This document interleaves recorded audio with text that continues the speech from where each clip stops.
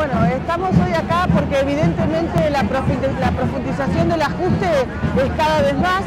Eh, vemos que el proyecto de presupuesto presentado por el Gobierno Nacional para el 2019 excluye a amplios sectores también nos involucra directamente la educación porque retirarían del presupuesto nacional los fondos para el FONID y para el fondo compensador. Se está viendo el ajuste que venimos denunciando y que lo decíamos en el 2015 que se venía con un gobierno liberal.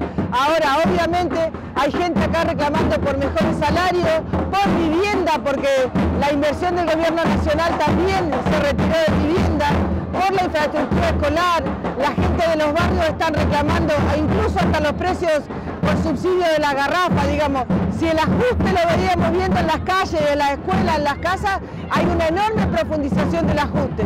Lo que valoramos ahora de este espacio es gran, la amplia unidad que se ha conseguido porque vos verás que hay sindicatos, partidos políticos, organizaciones barriales y creemos que ese es el camino, la unidad, la única... No decimos que le vamos a torcer el rumbo al gobierno porque sabemos que este no es un plan de, de gobierno, un plan económico, sino un plan de negocios.